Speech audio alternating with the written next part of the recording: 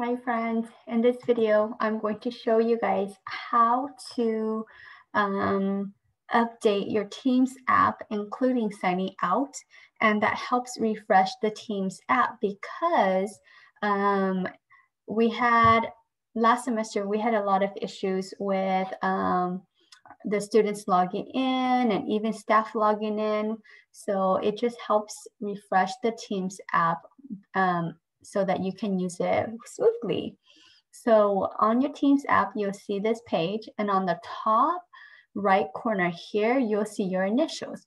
Go ahead and click on your initials. Then go down here and you can see check for updates.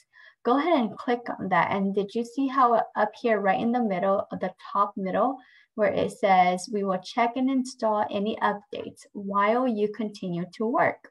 So it's going to continue editing or I'm sorry, updating the app um, as you are working. Sometimes it gives me a, you need to refresh um, message and sometimes it just re updates my Teams app. So depending on your message, if it tells you to click and to refresh, go ahead and do that. And that will help you uh, refresh your, um, update your Teams app. Now, after you are done updating your Teams app and clicking check for updates, click on the your initials again on the top right corner and go all the way down to where it says sign out. Go ahead and click on that, completely sign out of your Teams app, kind of like when you Oh, you see my it says you've got the latest updates and enjoy, okay? So oops, my Zoom here.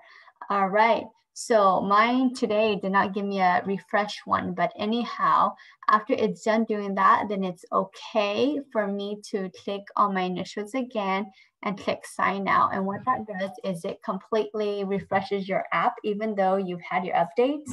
So I like to do both so that um, I know that my Teams app is ready to go during class.